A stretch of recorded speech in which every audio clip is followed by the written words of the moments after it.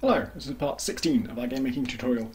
Um, last time we were doing screen shake, and um, if it didn't work for you, a lot of these episodes have or will start with, um, and if last episode didn't work for you, here's what, what it might have been. Um, so some people were, in the comments on that were having trouble with it, and they had some proposed solutions to it that I, I don't totally understand. But the thing that did occur to me that I do understand is um, you won't get any screen shake if your view is uh, the same size or smaller than your, sorry, bigger than your room. Because screen shake is when, let's imagine this rectangle here is our view. Um, screen shake moves the view around the room. So when you have a big screen shake, it goes brrr, and a small screen shake, it goes brrr. um, and if we made this room like 500 by 500, then, uh, well, this is a bad example because in this view I can move this around, but the way GameMaker works is you can't place the view outside the room. I don't think so. I don't think there's a way to actually get the view to move outside the room. So if you had it, I don't know how to make it exactly the same size, but if it was exactly the same size, no amount of screen shake would make it move at all because it can't go outside the borders. Um, so we can, I mean, I was assuming you would have a room bigger than your view, like mine is. Um, I think I told you to just enter whatever you liked there, which was, which I now regret. Um, but uh, even once you've done that, there's also the possibility of like if the view is in the top left corner and the screen shake happens to want to shake it in up and to the left, then it can't move. Like there's nowhere for it to go. Um, so we can solve this anyway um, to some extent. I, we're not going to try and make it absolutely perfect so that the screen shake is always exactly what the random value shows in every direction and every position, because you will barely notice the um, possible uh, edge cases and things that we're not accounting for. Um, and it's, fuck's sake, a screen shake. It's random. it's unpredictable. Um, and so our objective is just to get it looking good enough. And what we should do, our screen shake event is on the game object. Can I open up that code? It's already open. Um, and here, so all we're doing at the moment is just add on to the, um, uh, from our kind of origin position, which is our x and y, that's the where the view would normally be in this current situation, we add on a random amount. Um, but now we want to do some other things with that random amount. So instead of adding on directly, we're going to cut that and say um, shake x equals random range, yada yada. Um, and we'll do the same for shake y. because this is a random thing, and so we want to actually find out what what is that going to be and store that value so that we can account for it in various ways. So that now, whatever in there does what exactly what the previous code did, um, but it enables us to put some stuff between there. And let's first think about the problem like if the view is the same size as the room, then um, there's really that's almost unsolvable in the in the traditional sense of like what we were trying to do because you can't move the view outside the room and if it's the same size what are you going to do? What do you even want to happen? You know there isn't no space outside the room. If you want there to be space outside the room then you make the room bigger. That's what a room is. Um, but what we can do is just change the zoom level of the camera. So this I think we've talked about um, in addition to like having the X view and the Y view you have the W view and the H view and that's the width and the height of the view and I think we've referenced that before because we, um, actually even in, uh, in our initialized room code, I think we set it. So we're going to set it again here, um, but we're going to set it to, um, we have to first remember what we set it to in the first place. Because remember, all of this stuff, when you shake the screen temporarily, that's all well and good, but you need to know what it was before you shook it, because at the end of it, you want to bring it back to that. if we just add something onto it or subtract from it without knowing what the original value was, then we can get lost. You know, we might not know what it ever was before because these are random values and we're not remembering them permanently. So we can, you know, subtract them and undo our changes. Uh, initialize room, that's the thing that sets up all the um, screen heights and width. And we actually store it in a variable called screen width. Um, but the problem is this is this happens on our room startup code. Do you remember that? It's not actually running on an object. It's when the room starts, the room itself runs this code. And so when it establishes a variable called screen width, that is a variable that doesn't exist outside of it anywhere else. Like a room is not like an object; you can't just access its properties. If I don't think you can. I've never tried, but I assume you can't. Um, so we're going to make screen width a global variable, and to do that, you just put global in front of it. So if this was like a property of the player with like player dot screen width, if you write the word global, you see it goes a different color. It goes kind of goldy instead of um, pink. Um, it's like an object that always exists. You you know you reference it exactly the way you'd reference a normal object. Um, and in fact, let's do. Can we do a search and replace on this? Um, I'm going to search and replace screen width with global dot screen width. And that worked. And then do the same for screen height. What I did there was I cut instead of copied. so I'm going to paste that back in a sec. Sorry. Uh, yeah. Big sweeping search and replaces are always a good idea and never go wrong. Um, the, these minus values are just my thing because I have to run in a window and I want the window to be smaller than the view. Um, I think that's all of them. Yeah, so now that won't change how this code works, but now we can reference this global screen width, and that is our value for what we want. In fact, did we even say that? Hopefully we say. Yeah, right here we say view uh, w view equals screen width. That is us establishing what the normal width and height of the screen is. So that will be our baseline, and then we want to um, we want to be smaller by however much we want to shake by. And remember, this could be positive or negative. It goes from minus shake amount to positive shake amount. So let's do ABS shake X. Um, and then we'll do something very similar for Y. Instead of W view, it's H view, because we want the height. And instead of screen width, it's screen height. And instead of shake X, it's shake Y. Or shake U, if you like that. um, so that, that will probably work fine. Um, but let's also just to add a bit of um, uh, impact to it. Uh, one thing we didn't do last time is you can also rotate the view, and that's just called view angle, I hope? Yes. Um, and we know what the normal of that is, it's zero. Zero is just the default angle for anything. So um, we can add on to that, and we don't need to like add on to its current value, we just add on to zero, and so you don't need to even write that out. Um, should we do shake x? I guess. Um, so we were kind of saying like that. Zero is the normal value. We're adding on shake x. Um, shake x is going to be like you know I think we did some values of like 75 or 50 for sh screen shake. And so 50 degrees is a hell of a tilt. we don't really want 50 degrees. We want the screen to rock by, you know, 45 degrees is that. So the screen would be going, um, and this is in one frame, and next frame it's going to tilt in a different direction perhaps. Um, so shake x would be too much, let's just divide it by 10. So there's no reason for it to be shake x rather than shake y, there's no reason for it to be divided by 10 rather than 15, this is just all guesswork and just kind of like whatever our value is. If it's a big shake, we want to tilt by a lot, and if it's a small shake, we want to shake by not much. Um, so I think that's everything. Let's see how well that works.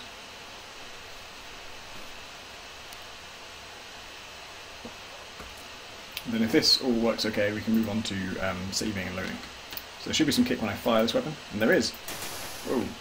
And when I blow people up, hard to notice because we're also getting kicked from the gun itself. Um, and now let's make a good load of... Yeah, that's great. Um, oh, and I guess I should try what happens if I set... Uh, let's do 1000 by 500. I'm just going to test what happens if my room is exactly the same size as my screen. And do, do we still get some shake? Because it would be good if we did.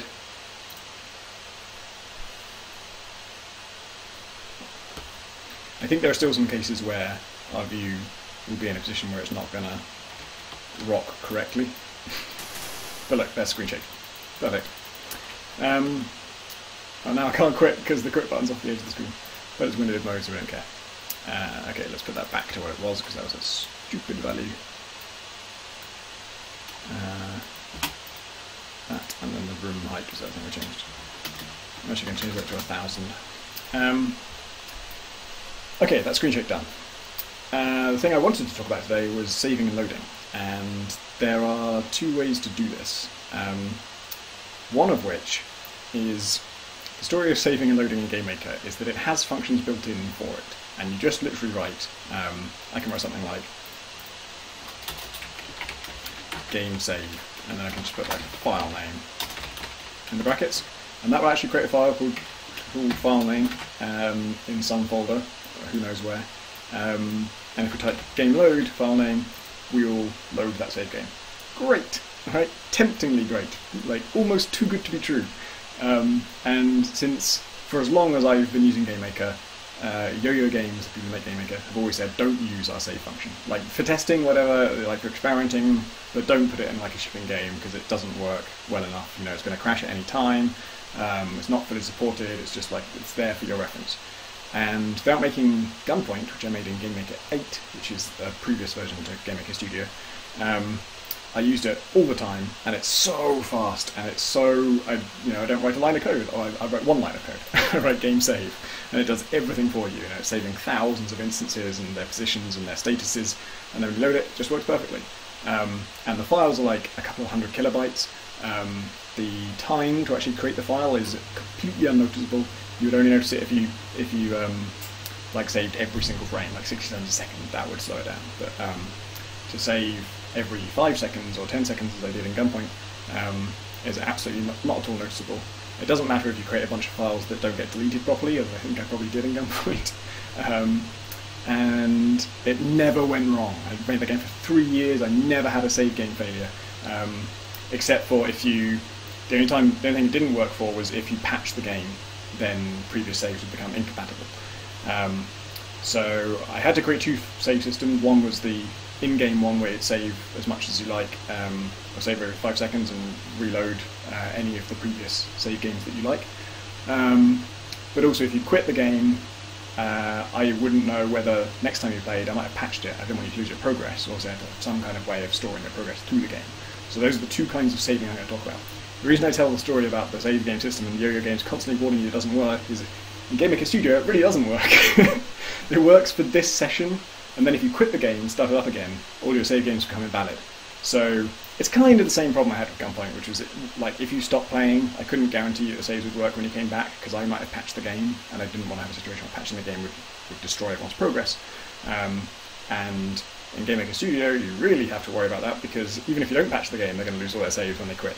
So this this works, but it's not good enough. Um, it is good enough if you want like um, just sort of a quick restart thing, um, something like when you, and you could use this to go back five seconds. Um, uh, you can basically do most of what I did with Gunpoint with this.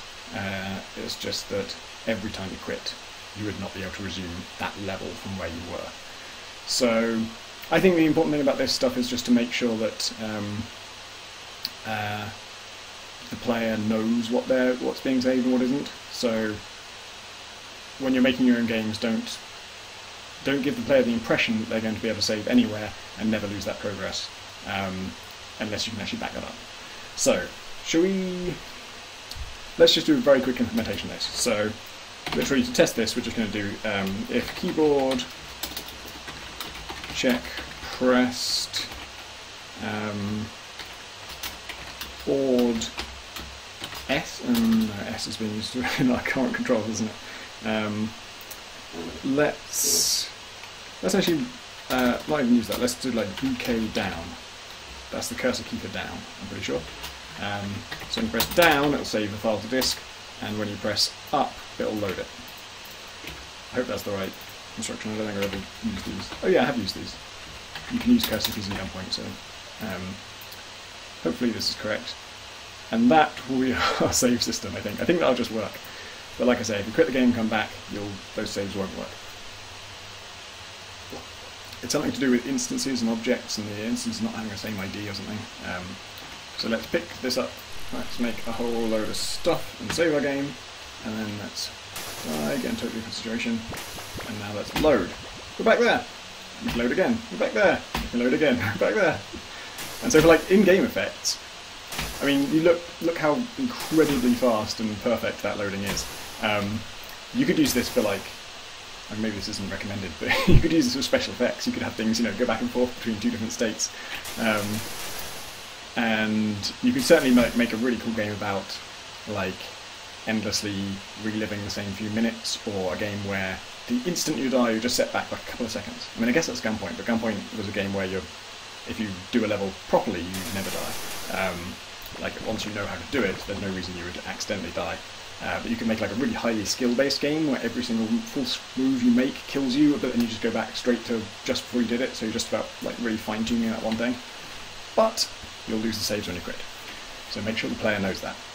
So that is that's nice for you know completing one level, but um, a lot of you have asked um, uh, for guidance on how to make like how to give the player some persistent data that's saved you know, between levels and uh, between sessions.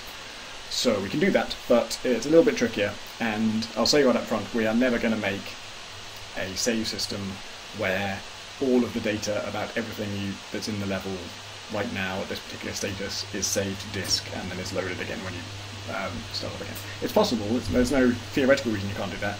It just involves a lot of. You'll see once we've done it why that would be difficult or just arduous. Um, there may be more efficient ways of saving data to disk than we're going to use, but um, I don't know them, so what are you looking at me for? so we're going to create a script that, um, for now, let's actually, uh, we're going to replace that system. Uh, it's up to you whether you want to keep this or not. Um, for our purposes, I want to be able to test this new system, and I can't be bothered to think of two new keys to press, so I'm just going to delete this, and we're going to um, let's actually take that out. We're going to run our save script on the player because it's the player's data we want to save. Basically, the script we're going to do is going to save the player's inventory, whatever you picked up, your weapons, um, and then we'll restore it. And the way we'll use this eventually is um, we'll save at a regular interval, and when you um, start the game up again, we'll automatically load your inventory. Um, and one thing we won't do here that you should do you know, in a full game is remember what level the player was on. So we could have like, you could just set up a, an array that's like level zero, or maybe level completed zero equals true uh, when you finish the first level, and then when you save the data, that will be one of the things you'd save and one of the things you'd load. Where it works in Gunpoint is there's a, for some reason there's a different variable for every level in the game um, instead of an array, and you always start on the mission screen and then when you uh, when you load up the game, it reads in all the data, looks at what levels you've completed, and if you've completed a level, then it doesn't show the box to start that mission. And if you haven't completed a level and it's available to you, then it does show that. Um, we're not going to do that because we just want to keep it as simple as possible. It's quite a complicated thing, so I'm going to keep it just to saving our weapons and loading them. And this will be unbalanced because it will mean you can pick up some weapons, um, quit, and then start the game again, and then you'll have the weapons already, and also there'll be weapons in the level. Um, but that's just because we're testing it in a very limited fashion. So in the player step event, we're going to have this, but instead of this game save thing, we're going to write our own thing. We're going to call it save player. Let's just say, say player data right now. Um, and when we say up, we'll say load player data, and these are functions we're going to write. So doesn't matter they don't exist just yet. Let's start with save player data. So the first thing we do is, um, instead of just being able to type game save, we're going to have to create our own file, and then in that file we're going to write a bunch of data that we care about, and then we're going to write a corresponding load function that will open that file and read in the data. So the, the command for that is um, we need a file name, and then we also need to, we're going to write something like um, uh, things like file text write so I can have an okay, good. Uh, file text write string inventory, and then we'll save some stuff. But the problem with this is that uh, we need to specify what file we want to write that to, and rather than typing out the file name each time, you create a reference for it. So we will write something like um, uh, save file. Capitalize that. Um, so that says we're going to write to the save file this word inventory. And so first we need to set that up. And so that's a variable like any other. It's kind of like um, when you're going to start writing to a file, you want to set up this, this reference point, this um, just a variable that stores that particular file um, so you can refer to it later. So we're going to say file text open open, we're going to write the file. Saving is writing files and loading is reading files. So we're going to do that and then we're just going to put a file name here. So we'll just say player data. Um, you could do like .sav. You can, this is the dirty secret of file formats is that like the extension doesn't really mean anything. You can put whatever you like there. The extension for the gunpoint save files are .gun, but you can open them in a text editor and they're just plain text. In fact, you could just save them as text, and that's some, in some ways that's quite nice because it tells the player if they ever go snooping around in their game folder, you know, they want to tinker with the game, and if you name it a text file, they know, oh, I can just open that text file and then uh, a text editor, and then they can um, tinker with it if you want to let them.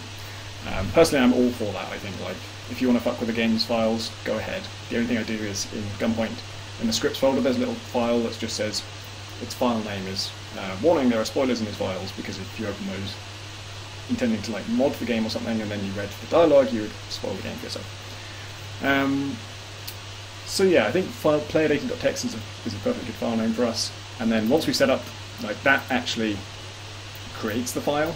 And then from now on, when we want to write to that file, we use the word save file. And so the first thing, we will write just the word inventory. Uh, that's just to make it more readable if it ever does get opened. Um, that's not really, you don't have to worry about the player opening this really, um, but it's good for you because in Gunpoint, a Gunpoint save file is just like, that's what it looks like. And when I, like when like debugging or testing file save systems and messing around with that stuff, it's a fucking nightmare it's just a load of numbers and it doesn't tell, tell you what any of them mean.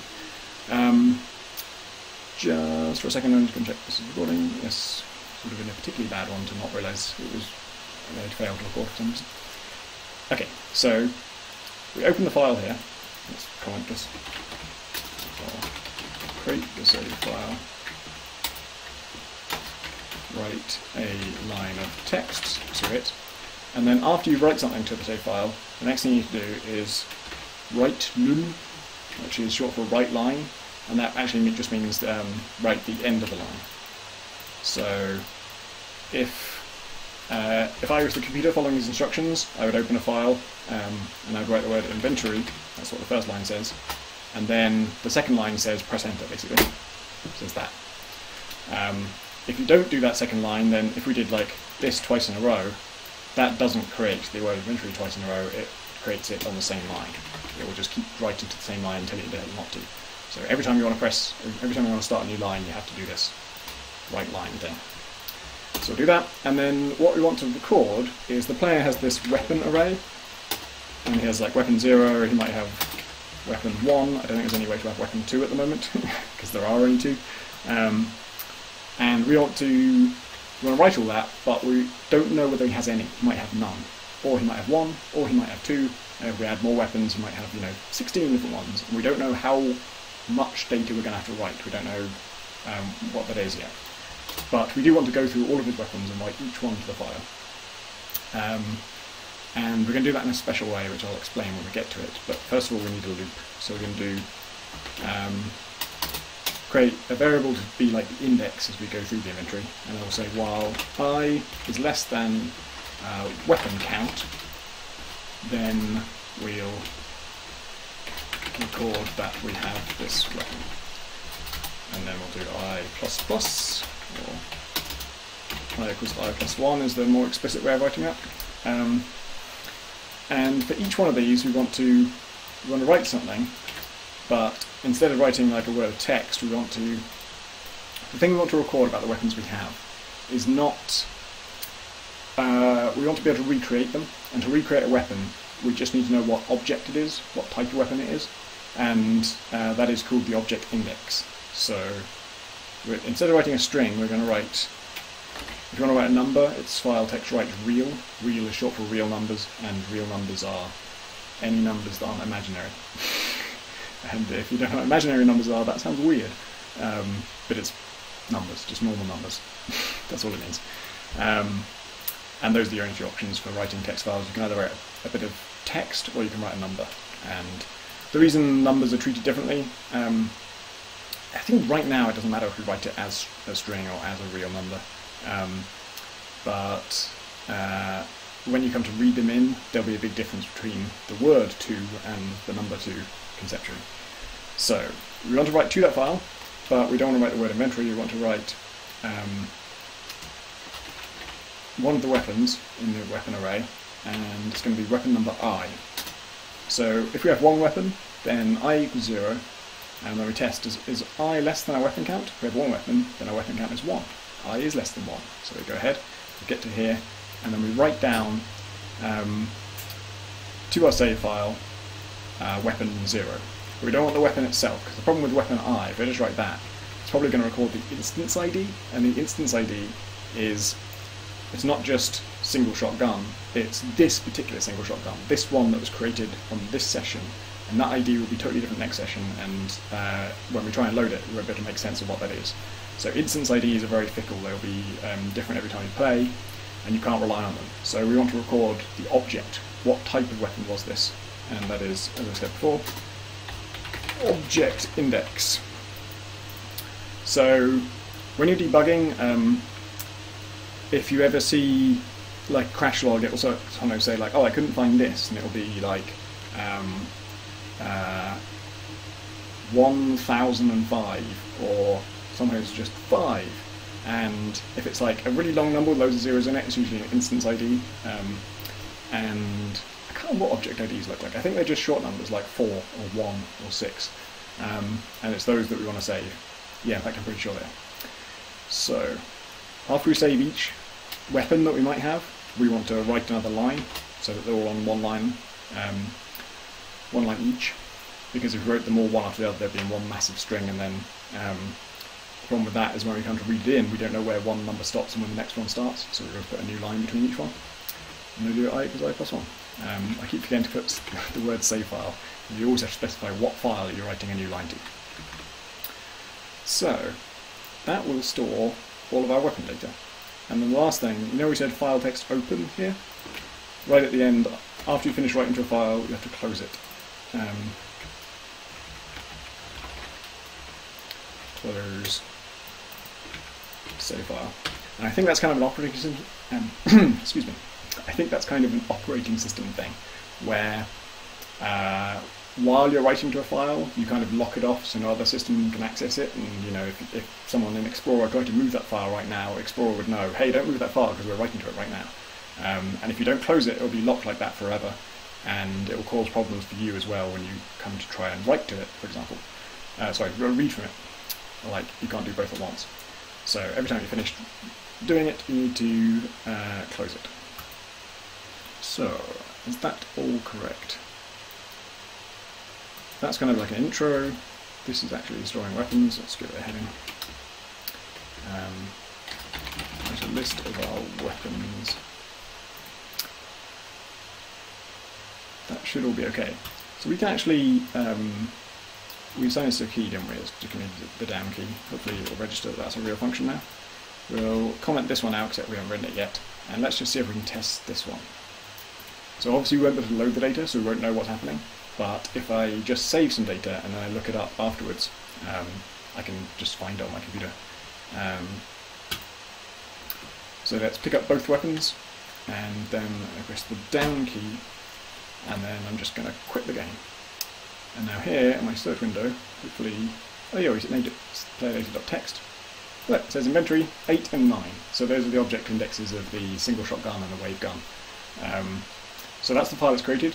Um, if you look up in the heading up here, it's been put in users slash pentadact slash app data slash local slash make a game with experience slash player data. The most logical folder where anyone would look for their C games. Obviously, everyone knows to look there. Um, that is the downside of um, GameMaker Studio, the way it does it, is it kind of conforms to how Windows wants you to do it, or how certain. when you're talking about Microsoft, you have to specify certain factions within Microsoft want you to write it there. Other factions want you to write it in totally different places. And other editions of Windows have totally different standards where that should be. Um, and in previous versions of GameMaker, you could just write a file directly to the folder that, where the player had installed the game, which I prefer. Uh, but now it gets put in fucking users, or app data local, which is ugh, who the hell knows where that is. Um, if you're going to make a game uh, that you release on Steam, then great, because you can just use Steam Cloud to synchronize those things, and the user doesn't really need to know where they are, because that, that will be um, how they share them across multiple computers. If you're not going to do that, I would recommend um, uh, I can probably open that folder, can't I? So this is how you find the folder. Actually, no, we're not going to get into this. So there's a way to create a shortcut uh, to that folder, but you have to use a special magic word that will be interpreted differently by different operating systems. And um, I would recommend putting a shortcut in the user's folder so that if they ever go snooping in their folder for, hey, where are my save games? They won't find save games, we can't put the save games there, but we can put a little shortcut that says, hey, here's where your save games are, and you double click it and then it takes you to the folder. Um, that's easier than ever trying to tell someone, oh, it'll be in your users slash then your username, then app data, then local. Oh, unless you're on Windows 8, in which case it's a different folder. Or if you're on Windows XP, it's a different folder. Um, so yeah, we that, there's a way to do that. Um, I'm not going to cover it here because it's too much work.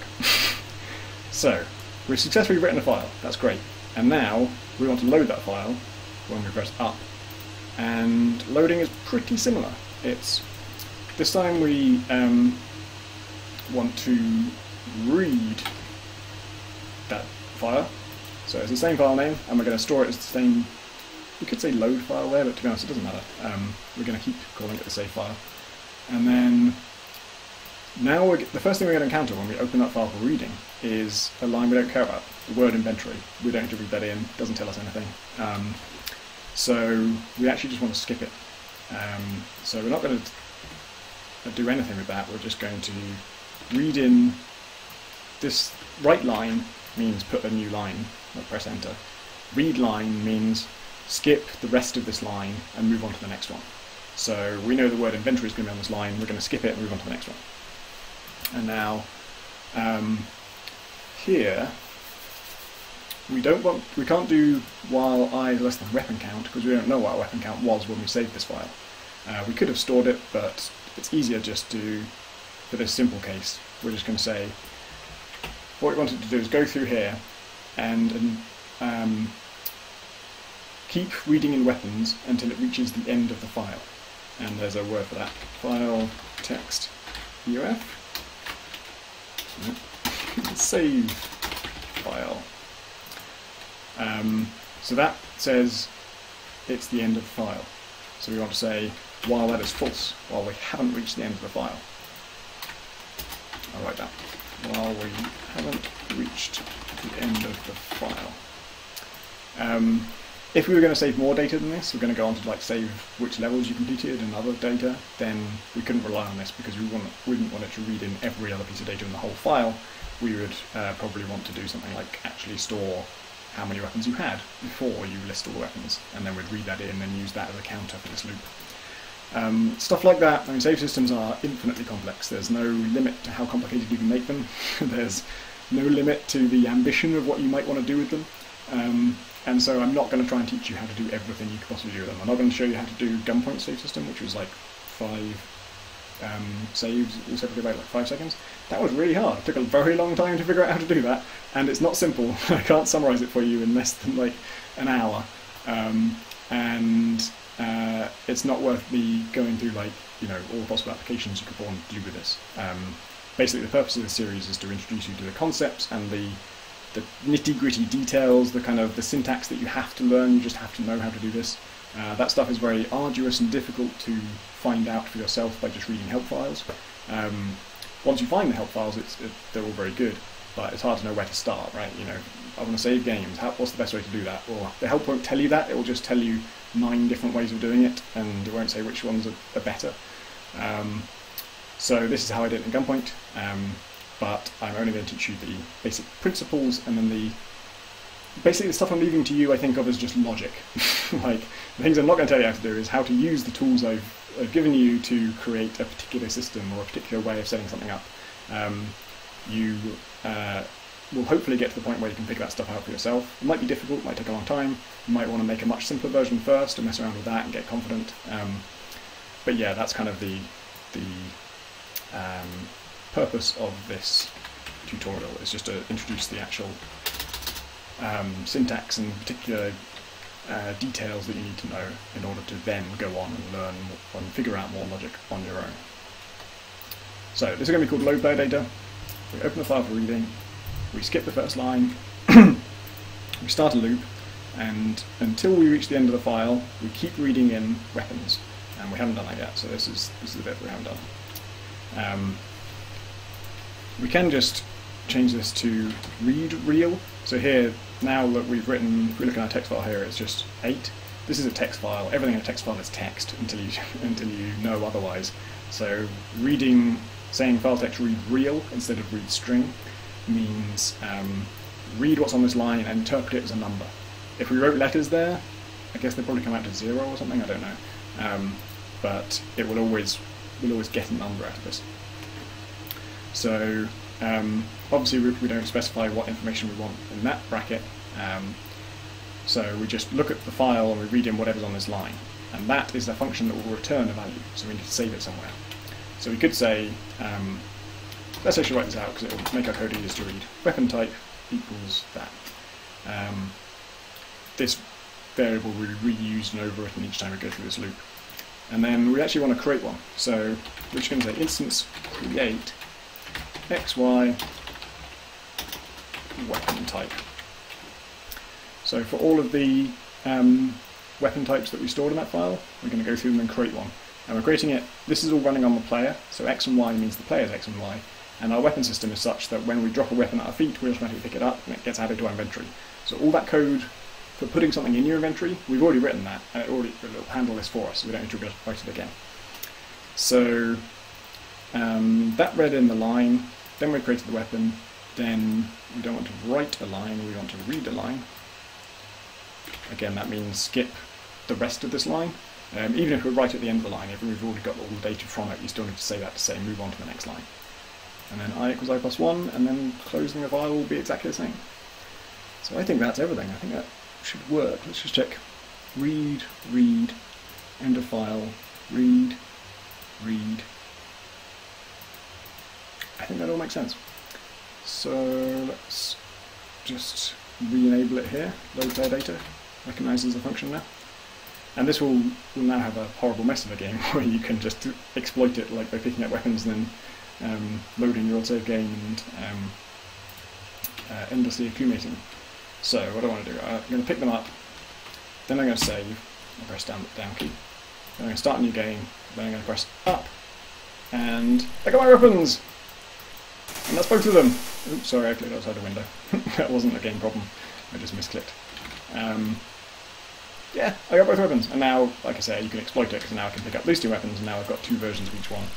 Um, which is not intended, but the way you'd use this normally is um, in a proper game is you'd have multiple levels and you would store also which levels the player has and hasn't done and you'd probably have some kind of hub from which you select the levels or go to them, like a, main menu screen perhaps, which I've been disparaging about in the past.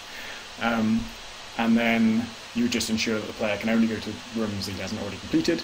Um, and you would probably want to only save this data when you um, finish a room, for example.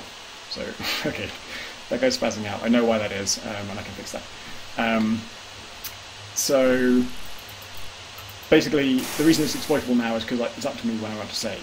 When you make a proper game, you will want to specify strictly when the data is saved, and I think at the end of a level, when you complete it, that's a good time to do it.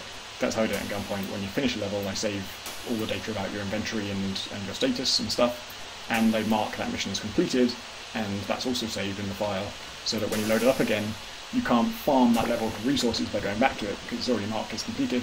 Um, and you anything you gained in that level you've kept, but you can't go back and get it again, and that kind of stuff. So that's all. I mean, that's hesitate to say basic, but it's all logical. It's all stuff that you can figure out for yourself. Um, and hopefully that's enough. Just before I go, I am going to fix that because that's crazy. The um, enemy gibbering around here.